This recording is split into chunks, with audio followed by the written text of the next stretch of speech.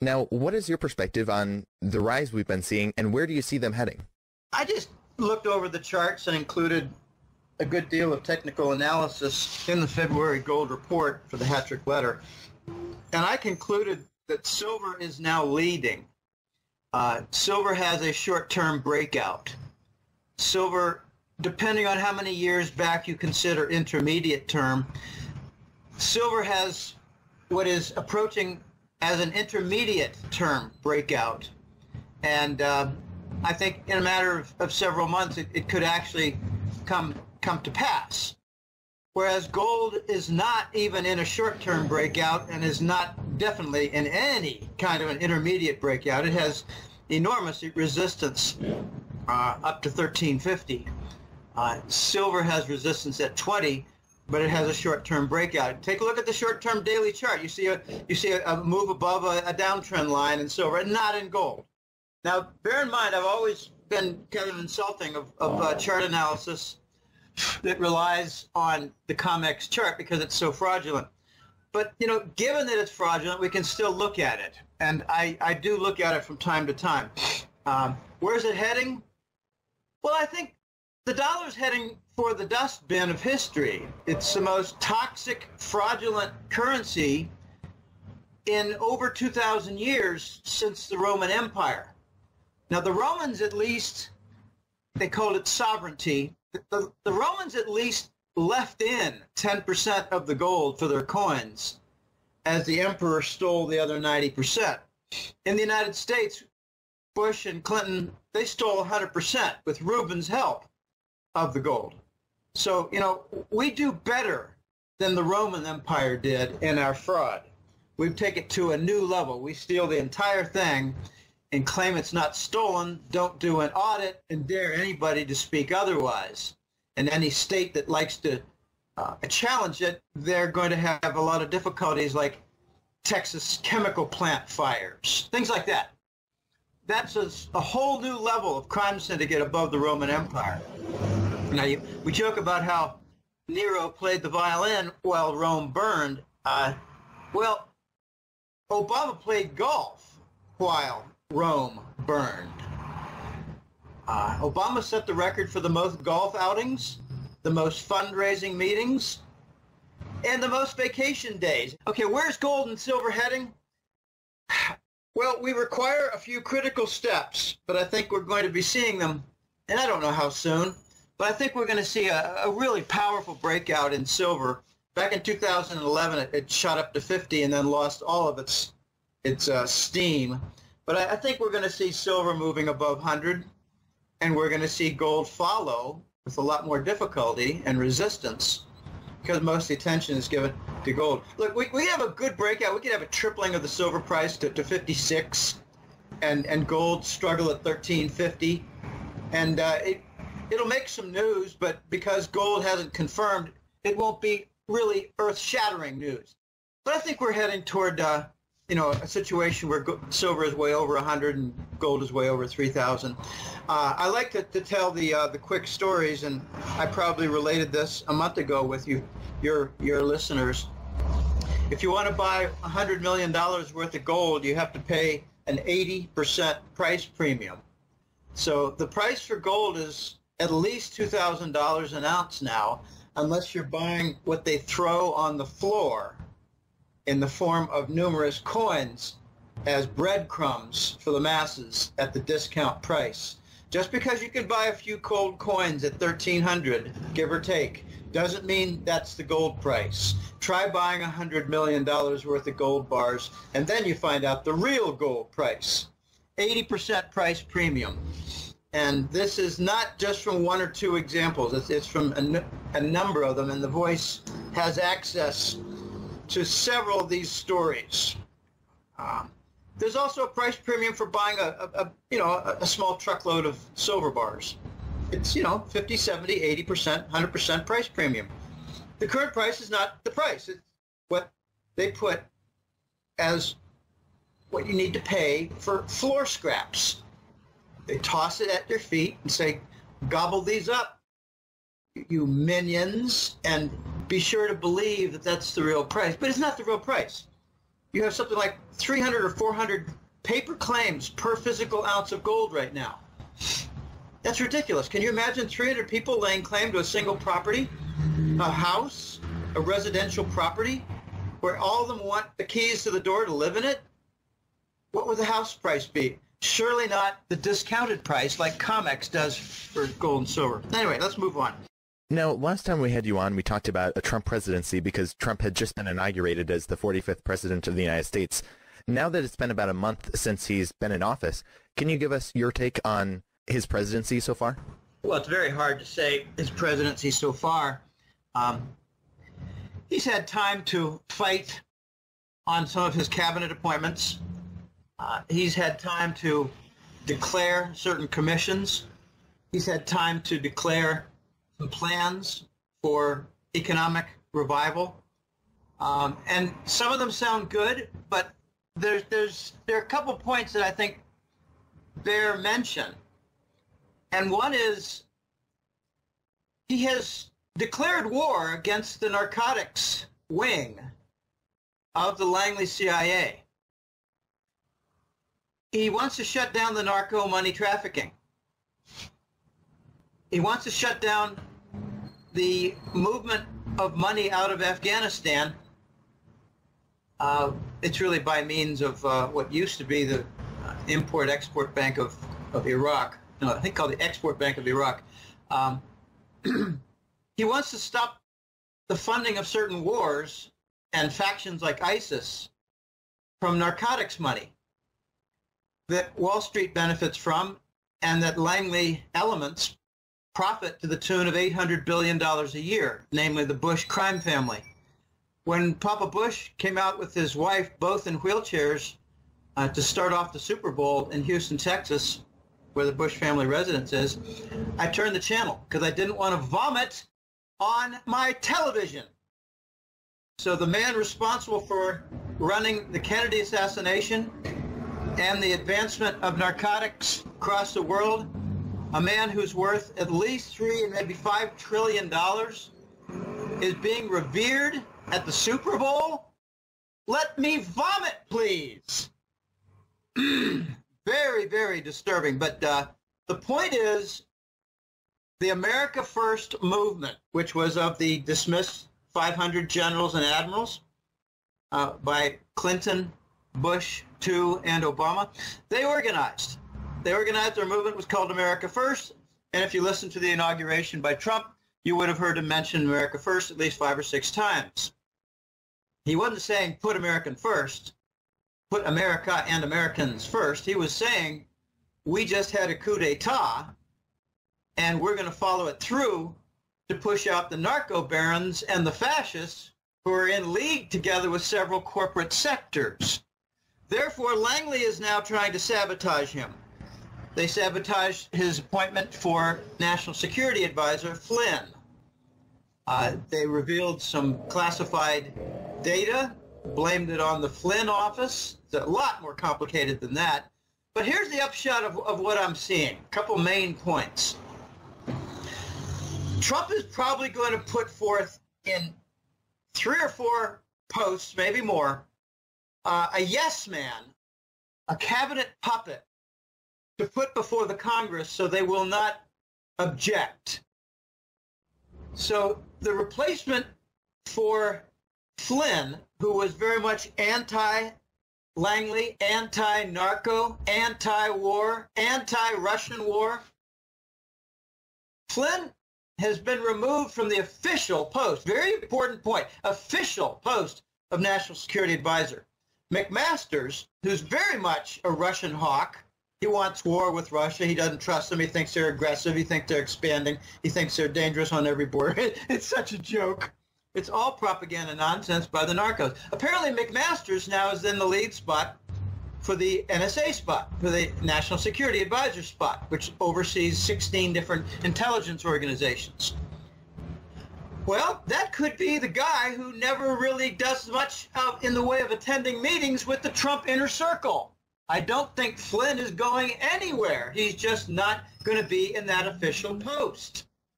So he's working toward a shadow cabinet. And this is some of the inside scoop that I've gotten. the shadow cabinet will be where the real decisions are made, where the real uh, implementation of plans will be carried out, where the real power will lie, and they will not go before the Congress. So I don't ever remember a president in the past having intelligence and security posts as part of a secret inner circle, unless you count the Trilateral Commission for Papa Bush, Baby Bush, and Clinton, uh, the Trilateral Commission with, you know, Brzezinski and, and the others like Soros and others that, that want to carry out the globalist fascist state. Whenever you hear globalist, think fascist state that cuts across national boundaries. Continental fascist state. Um, the second important point regarding Trump is is a little disappointing on my side, and I'll I'll try to be brief because it's it's really complicated. It looks like Trump may not cut any military budget. Uh, I think it needs to be cut by 200 billion so we could do some infrastructure projects. How many bridges and highways could be fixed with 200 billion dollars a year? Instead, it looks like he's trying to move the boogeyman role over to Iran. And there, there's some, you know, national security advisor uh, uh, hubbub rumors regarding Flynn that he was about to reveal the really ugly, scummy details of the Iran nuclear deal with respect to United States, Iran, and the sanctions. So that won't come out so quickly. But it looks like Iran is being painted as the boogeyman. And, uh, you know, they're the problems all through the Middle East. What stupidity. Uh, that's disappointing because I don't think Iran is much of a threat to anything in world peace but they are a threat to the dollar. And that's the common theme that goes back to the Saddam Iraq days because he was selling oil for euros. The common theme in the Ukraine war because uh, the dollar was being threatened by a, a Russian energy supply, which was going to undermine completely the petrodollar and, and weaken the Saudi link. Okay, the other disappointments that I, I see in Trump uh, have to do with you know plans that don't involve any kind of a fast track toward retiring the dollar and and creating a more legitimate currency that would have gold backing. And I'll tell you a couple of reasons why. The first has to do with uh, you know funding the, the major programs. Uh, how is Trump going to put out a trillion dollar infrastructure portfolio of projects, if we're in the middle of a currency crisis and we don't even know what our national currency is anymore because it's going to be unblurred from the global currency, the dollar. Well, he needs funding. So if he want, if he needs a trillion dollars in funding, he's going to have to probably expand the U.S. government debt, and it has to be on the back of this continued crippled toxic dollar. Okay, so he needs to continue the dollar. And that's, I think, why Goldman Sachs boys are in there in the cabinet. Very disappointing. They're just loaded with Goldman Sachs. And remember, Donald Trump overcame at least two bankruptcies, which means he has big friends in the banking sector. All right, the second reason why the dollar is not going to be on a fast track toward the funeral is that if we bring about a gold-backed new dollar, Elijah, the first year, if there's no reduction to the trade deficit, and even it, let, us just assume that there's a minor reduction down to say 500 billion or the upper 400 billion area in dollars, annual trade deficit. If we do a gold backing of the dollar, that means we will forfeit 12,000 to 13,000 tons of gold in the first year and with grand improvements, maybe only forfeit 9,000 tons in the second year and 7,000 tons in the third year. Like 30,000 tons forfeited in three years. That's a consequence of getting onto a gold-backed dollar.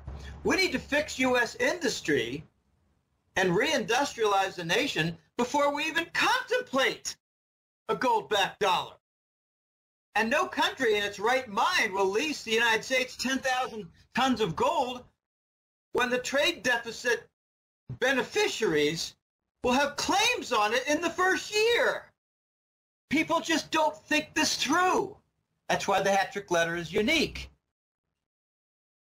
We need a legitimate dollar. But before that, we need to reindustrialize the United States and reverse this stupidity of outsourcing industry that Germany never did. And therefore, they're not crippled. We need to reverse the outsourcing because it's a legitimate source of income. And if done, results in a massive trade deficit that's very difficult to overcome because you have to reindustrialize. Okay, the optimism that I see regarding Trump is his innovative thought. He might be trying to arm twist Japan into investing a trillion dollars, that's a thousand billion dollars from their pension funds, or maybe even from their treasury bond hoard at their central bank. That's two different trillion dollars. He might be trying to arm twist Japan into being involved with some massive industrialization and infrastructure plan. You can't reindustrialize the United States without a certain amount of infrastructure upgrade. Okay, that's really important. Uh, it's like saying, well, we're going to build a business over there, but uh, first we need to improve the rail facility, we need to improve a truck depot, and we need to expand the highways and improve some ramps to the, the different plants. Okay, that's infrastructure to support a capital investment. Capital formation requires the infrastructure. It's like saying I just bought a new car, but I wish there were some roads that I could drive it on. Okay, that's the infrastructure. Walmart would say we need we need to supply our our, our various 2,000 stores in the United States, but we don't have any truck depots for distribution centers. That's your infrastructure. Okay. So there's some things to be optimistic about with Trump, but uh, you know, I I just don't know how dirty some of his people are. I don't know how much how many skeletons does Trump have in the closet?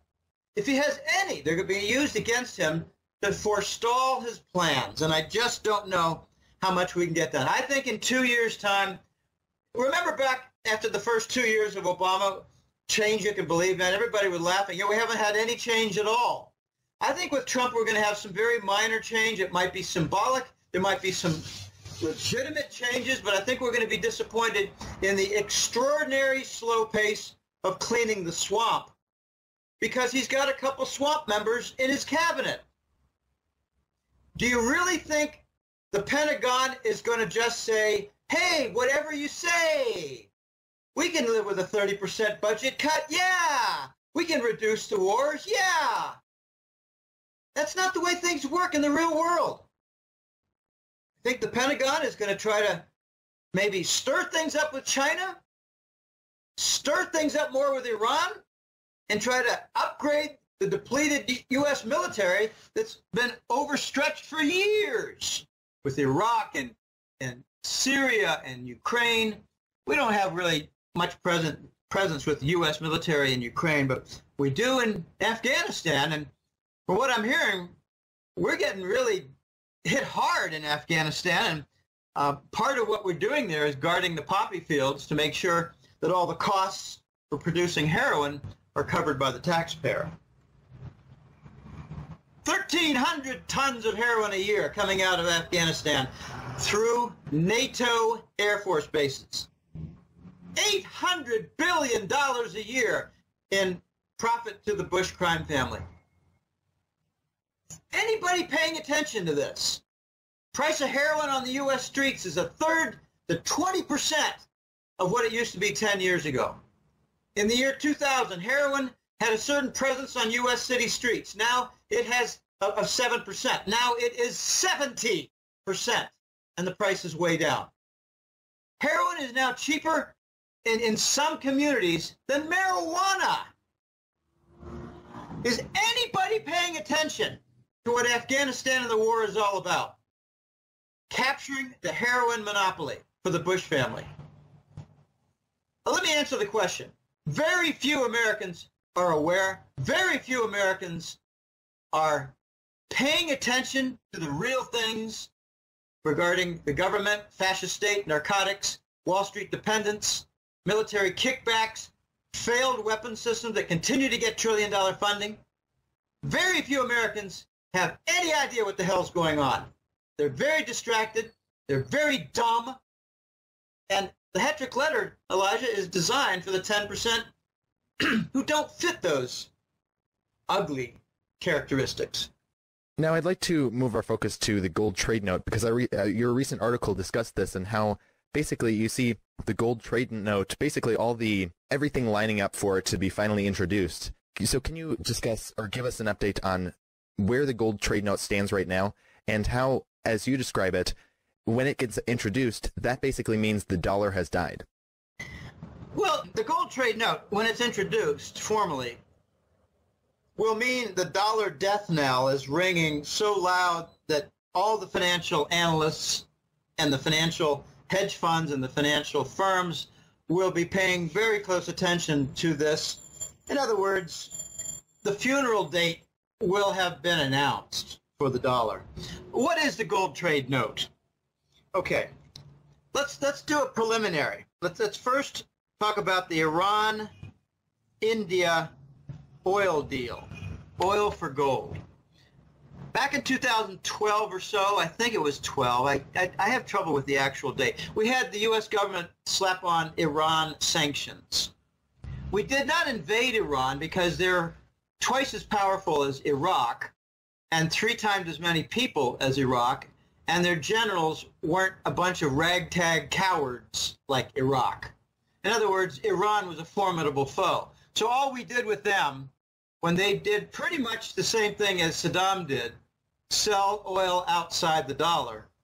We did something different with Iran. We just put on sanctions.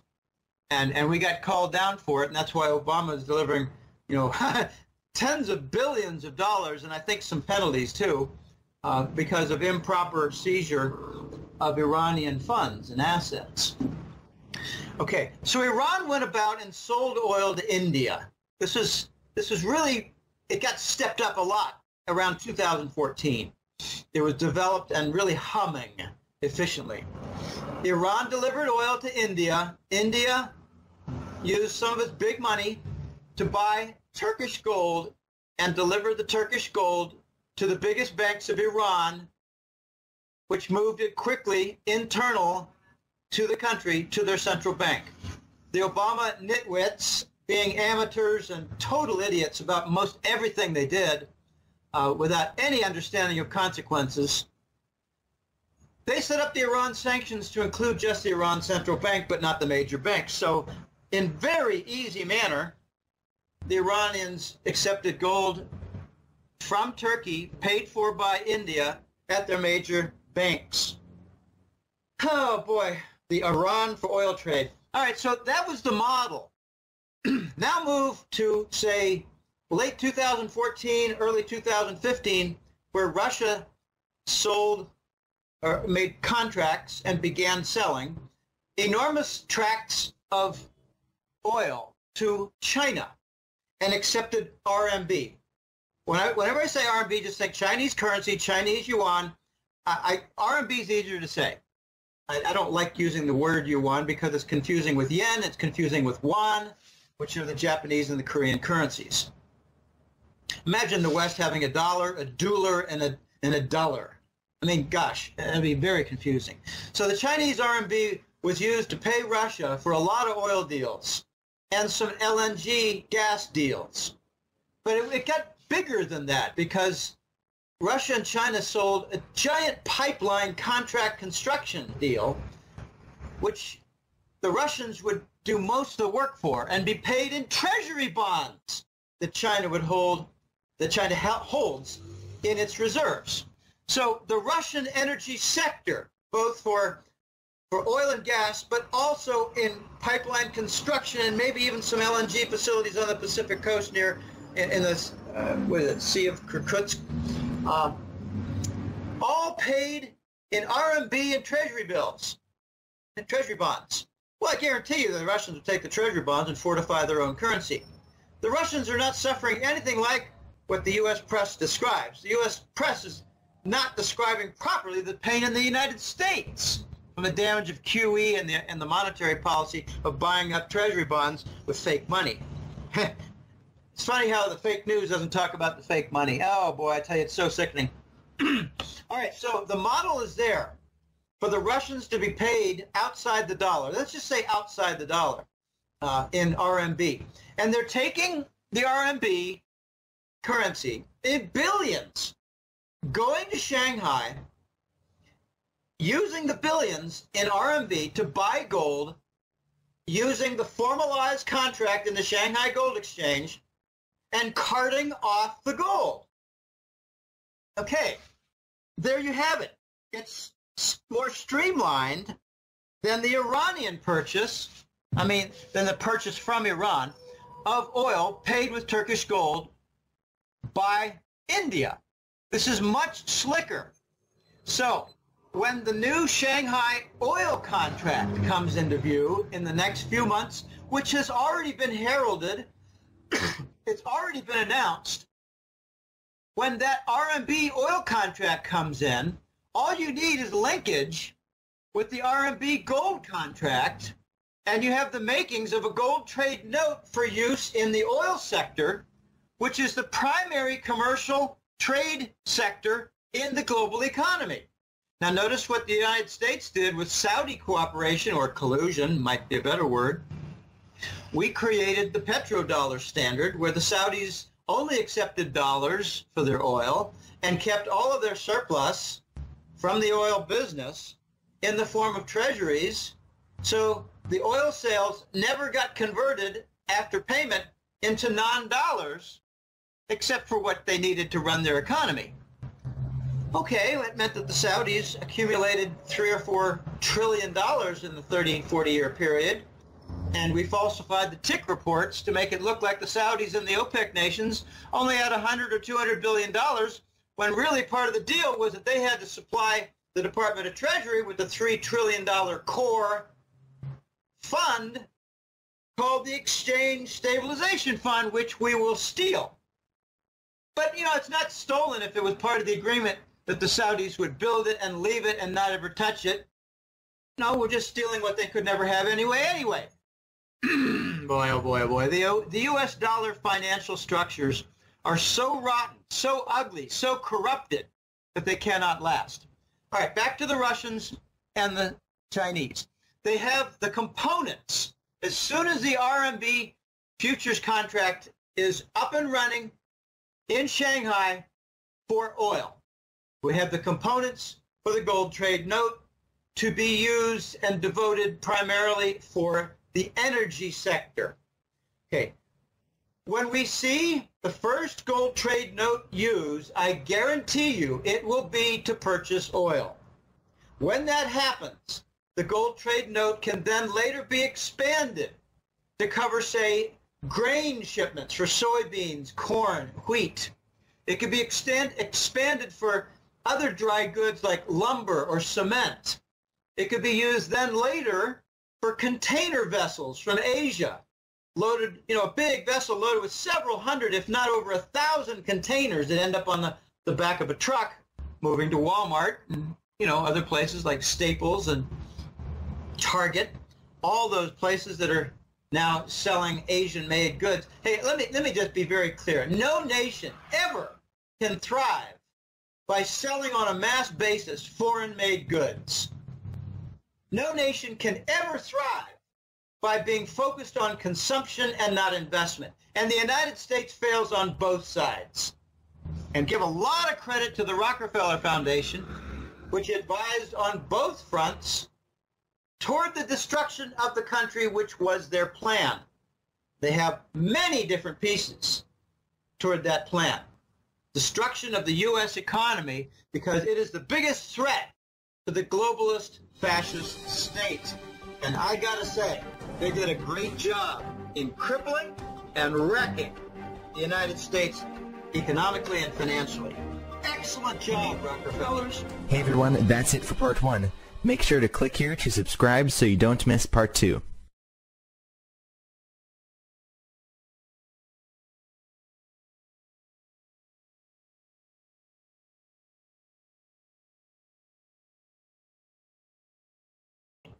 So, you know, we do better than the Roman Empire did in our fraud. We take it to a new level. We steal the entire thing and claim it's not stolen, don't do an audit, and dare anybody to speak otherwise. And any state that likes to uh, challenge it, they're going to have a lot of difficulties like Texas chemical plant fires, things like that. That's a, a whole new level of crime syndicate above the Roman Empire. Now, you, we joke about how Nero played the violin while Rome burned. Uh, well, Obama played golf while Rome burned. Uh, Obama set the record for the most golf outings, the most fundraising meetings, and the most vacation days. Okay, where's gold and silver heading? Well, we require a few critical steps, but I think we're going to be seeing them, and I don't know how soon, but I think we're going to see a, a really powerful breakout in silver. Back in 2011, it, it, shot up to 50 and then lost all of its its uh, steam. But I, I think we're going to see silver moving above 100, and we're going to see gold follow with a lot more difficulty and resistance because most attention is given to gold. Look, we, we have a good breakout. We could have a tripling of the silver price to, to 56 and, and gold struggle at 1350. And uh, it, it'll make some news, but because gold hasn't confirmed, it won't be really earth-shattering news. But I think we're heading toward, uh, you know, a situation where silver is way over 100 and gold is way over 3,000. Uh, I like to, to tell the uh, the quick stories, and I probably related this a month ago with you, your your listeners. If you want to buy $100 million worth, say, his presidency so far, um, he's had time to fight on some of his cabinet appointments. Uh, he's had time to declare certain commissions. He's had time to declare some plans for economic revival. Um, and some of them sound good, but there's, there's, there are a couple points that I think bear mention. And one is he has declared war against the narcotics wing of the Langley CIA. He wants to shut down the narco money trafficking. He wants to shut down the movement of money out of Afghanistan. Uh, it's really by means of uh, what used to be the Import-Export Bank of, of Iraq. No, I think called the Export Bank of Iraq. Um, he wants to stop the funding of certain wars and factions like ISIS from narcotics money that Wall Street benefits from and that Langley elements profit to the tune of $800 billion a year, namely the Bush crime family. When Papa Bush came out with his wife, both in wheelchairs, uh, to start off the Super Bowl in Houston, Texas, where the Bush family residence is, I turned the channel because I didn't want to vomit on my television. So the man responsible for running the Kennedy assassination and the advancement of narcotics across the world, a man who's worth at least three and maybe five trillion dollars, is being revered at the Super Bowl let me vote. Now, what is your perspective on the rise we've been seeing, and where do you see them heading? I just looked over the charts and included a good deal of technical analysis in the February gold report for the Hat Trick letter. And I concluded that silver is now leading. Uh, silver has a short-term breakout. Silver, depending on how many years back you consider intermediate term, silver has what is approaching as an intermediate term breakout. And uh, I think in a matter of, of several months, it, it could actually come, come to pass. Whereas gold is not even in a short-term breakout and is not definitely in any kind of an intermediate breakout. It has enormous resistance uh, up to 1350. Uh, silver has resistance at 20, but it has a short-term breakout. Take a look at the short-term daily chart. You see a you see a, a move above a, a, downtrend line in silver, and not in gold. Now, bear in mind, I've always been kind of insulting of, of uh, chart analysis that relies on the COMEX chart because it's so fraudulent. but you know, given that it's fraudulent, we can still look at it, and I, I do look at it from time to time. Um, where's it heading? Well, I think the dollar's heading for the dustbin of history. It's the most toxic, fraudulent currency in over 2,000 years since the Roman Empire. Now, the Romans, at least, they called it sovereignty. The, the, Romans, at least, left in 10% of the gold for their coins, as the emperor stole the other 90%. In the United States, Bush and Clinton, they stole 100% with Rubin's help of the gold. Comment, please.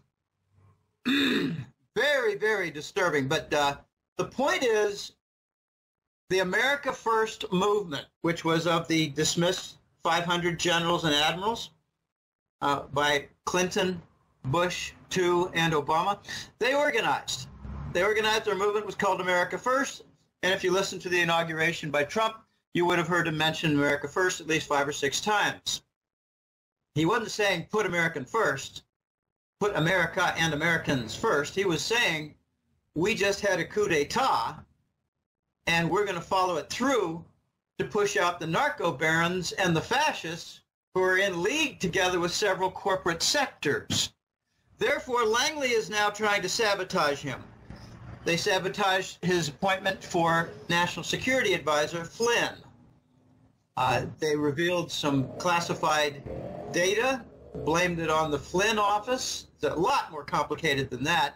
But here's the upshot of, of what I'm seeing. A couple main points. Trump is probably going to put forth in three or four posts, maybe more, uh, a yes man, a cabinet puppet to put before the Congress so they will not object. So the replacement for Flynn, who was very much anti-Langley, anti-narco, anti-war, anti-Russian war, Flynn has been removed from the official post, very important point, official post of National Security Advisor. McMaster's, who's very much a Russian hawk, he wants war with Russia. He does the gold. You have to pay an 80% price premium. So the price for gold is at least $2,000 an ounce now, unless you're buying what they throw on the floor in the form of numerous coins as breadcrumbs for the masses at the discount price. Just because you can buy a few cold coins at 1300 give or take, doesn't mean that's the gold price. Try buying $100 million worth of gold bars, and then you find out the real gold price. 80% price premium. And this is not just from one or two examples. It's, it's from a, number of them, and The Voice has access to several of these stories. Um, there's also a price premium for buying a, a, a you know a, a, small truckload of silver bars. It's you know 50, 70, 80 percent, 100 percent price premium. The current price is not the price. It's what they put as what you need to pay for floor scraps. They toss it at your feet and say, gobble these up, you minions, and be sure to believe that that's the real price. But it's not the real price you have something like 300 or 400 paper claims per physical ounce of gold right now.